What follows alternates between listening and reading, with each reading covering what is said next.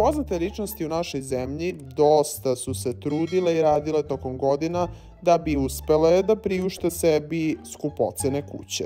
A ko su vlasnici najskupljih kuća na našim prostorima? Kuća Duška Tošića i Jelena Karleuša nalazi se na Dedinju. Ova vila je nekada pripadala Draganu Stojkoviću Piksiju i njegovoj ženi. Tada se šuškalo da je ulaznica za raj na Dedinju koštala između 2 i 2,5 miliona evra.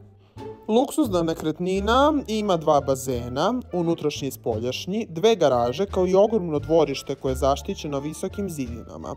Mediji su pisali da njena kuća ima čak pet kupatila, ali i klavir bele boje na terasi koji je privukao veliku pažnju.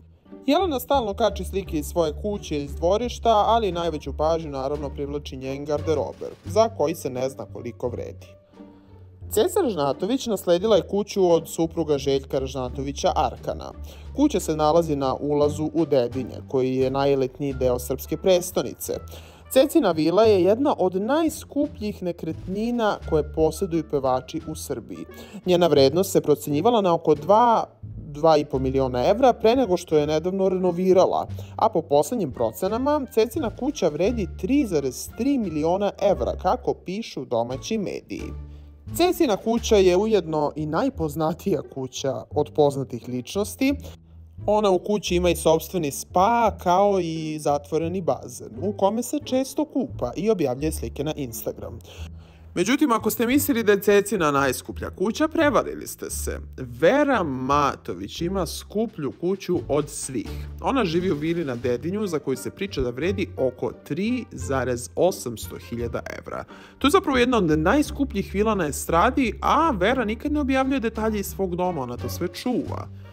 Ona je godinama marljivo radila i ulagala u antikvitete, stilske komade, umetničke slike, kojima je opremila svoj dom, čija se vrednost procenjuje na 4 miliona evra. Hare Žinović se nedavno s porodicom uselio u svoju vilu na Senjaku, koju je gradio od 2017. godine. Jer, kako kaže Haris, arhitekte i dizajneri neće ostati tu da žive, nego ja, pa mi je bitno da sve bude završeno.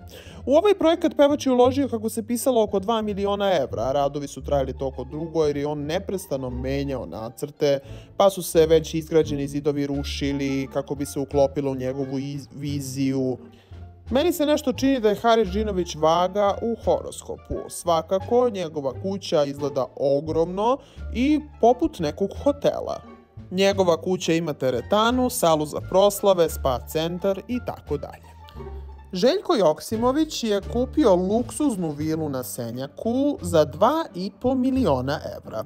Kuća se nalazi na jednoj od najskupljih lokacija u Beogradu, a veličina placa je čak 20 ari. Kuća je luksuzno opremljena, ima bazen, ogromno dvorište, A ono što je možda interesantno je to da Željkovu kuću možete da vidite ako ste gledali seriju Ubice mog oca, pošto se ta serija baš tu snimala. Brena ima prostrano imanje na Bežanijskoj kosi gde uživa u ogromnoj kući i još većem dvorištu. Verovatno vam je poznata ova kuća Brenina na Bežanijskoj kosi, zato što je više puta puštala u dom e, novinare medijske ekipe i neke fotke čak objavljivala na svom Instagramu. U medijima su izlazile informacije da Brena i Boba žele da prodaju ovu kuću i da za nju traže 2 miliona evra. Goran Bregović je poznat po tome da obožava da ulaže u nekretnine, a jedna od njih se nalazi na Senjaku i košta 3,6 miliona evra. Pa vi vidite koliko Brega zapravo ima para.